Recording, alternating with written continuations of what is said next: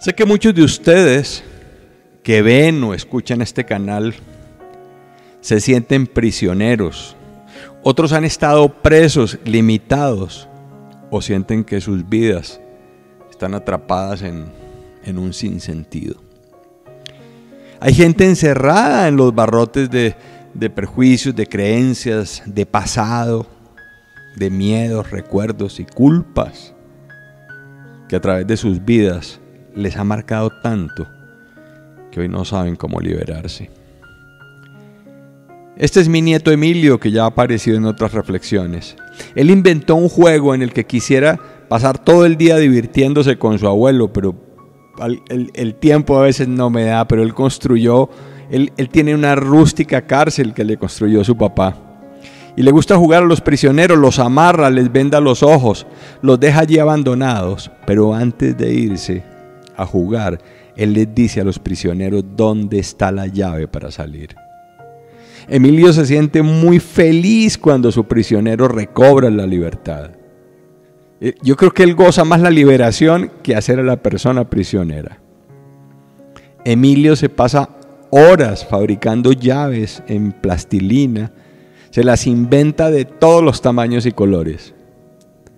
Él cariñosamente me dice, Payo, jugamos a la cárcel y a veces yo soy el carcelero. Y no se trata de hacer sufrir a quien está en prisión, se trata de ser capaz de soltarse y usar la llave que Emilio le muestra dónde queda. Emilio en su fantasía me invita a preguntar y a indagar, ¿cuál es tu prisión? ¿Qué te mantiene a ti atado, sufriendo? ¿Qué ocurre que no descubres la llave? ¿Qué pasaría si la buscas? Si pruebas varias llaves. Este juego metafóricamente lo estoy usando para preguntar, para que tú te indagues. En el caso de Emilio, en el juego él se convierte en tu ángel y también en tu prisionero.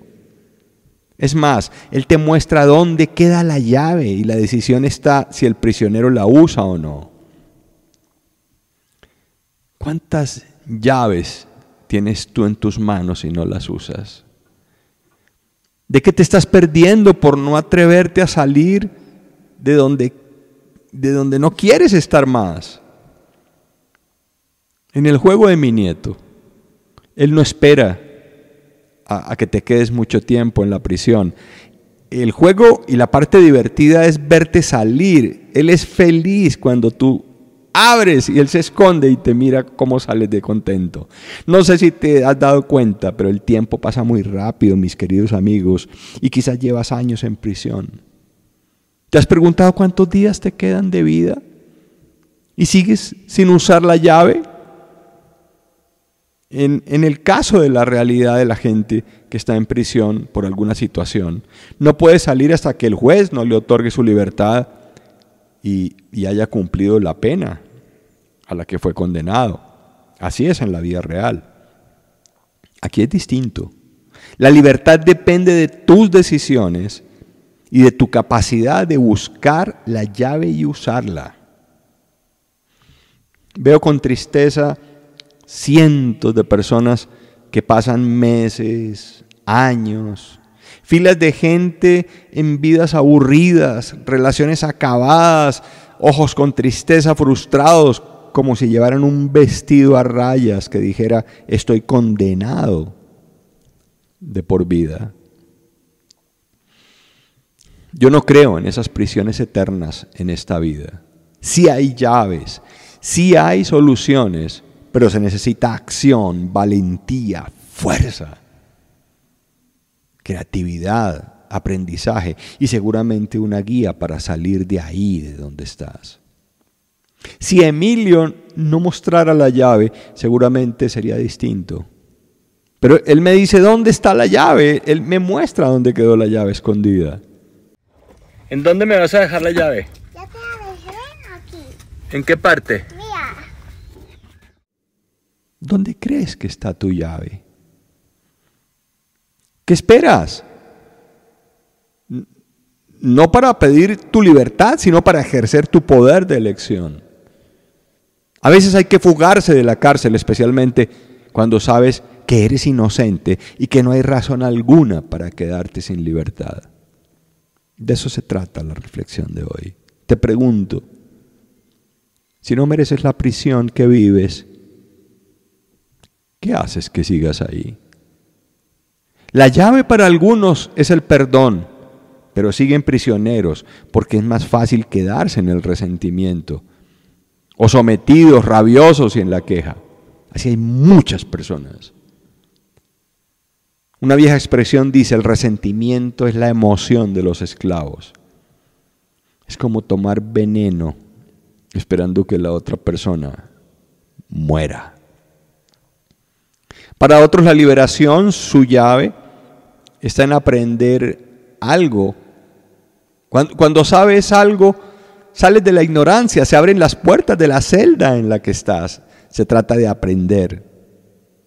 La prisión para algunos es no poder poner en práctica sus talentos, sus dones y estar en trabajos aburridos, sin creer en lo que les apasiona hacer. La llave está en aplicar esto. Aplica tus talentos.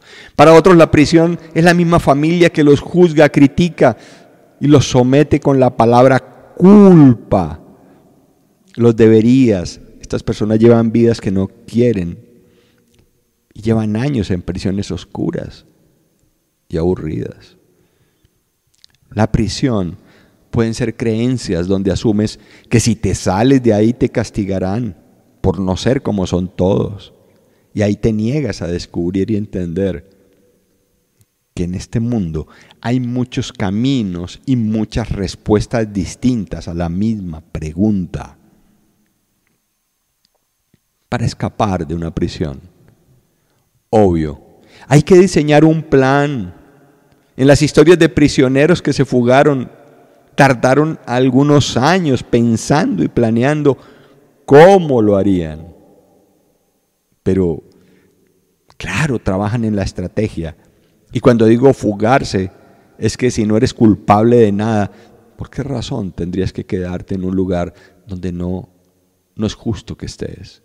Hay películas de grandes fugas en todo el mundo.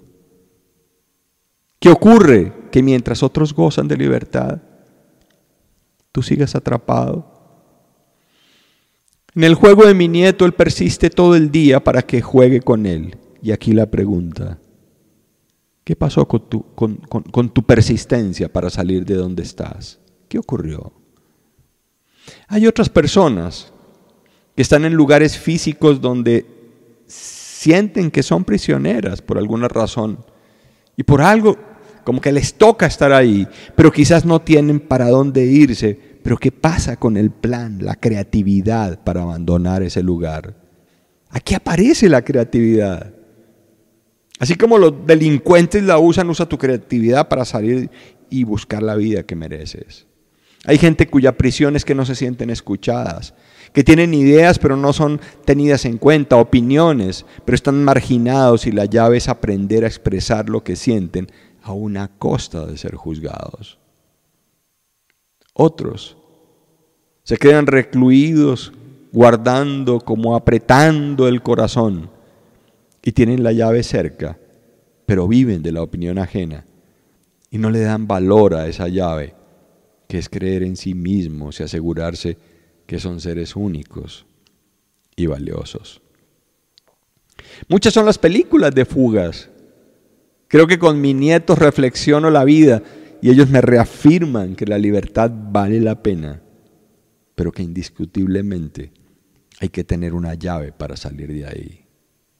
Busca esa llave, por favor. Claro que está presente. Hay una característica en las fugas famosas de cárceles y es que los prisioneros arriesgan su vida con tal de saborear de nuevo la libertad. ¿Para qué sirve esa llave? Ah, bueno, está muy bien esa llave para, liberarnos. Y aquí me surge esa pregunta. En el caso incluso esos famosos criminales que se atrevieron a exponer su vida, que se atreven a exponerla, ¿qué pasa contigo? Que tú no eres delincuente, no has robado y sigues prisionero. ¿Qué pasa? Que no pagas el precio de sentirte como mereces ¿Qué pasa con la estrategia, con el plan? ¿Qué falta? Que no te llenas de valor para sentarte a encontrar tu propósito de vida, como lo hemos venido conversando en varias ocasiones. Este aparente juego de niños es un mensaje para cada uno de ustedes que se considere atrapado y haya dejado dormir sus sueños de libertad. Lo que podría ser un juego puede ser la salvación para el resto de tus días.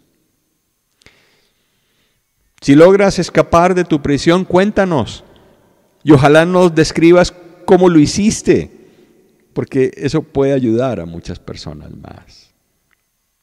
Buen coaching. Preguntas profundas al ser libre que hay en ti, que se mantiene atado a lo viejo, a lo caduco. Abrazo fuerte a esas alas que seguramente se fortalecerán disfrutando de un vuelo libre y de gozar de, de esas nuevas experiencias que te están esperando. Nos vemos mañana.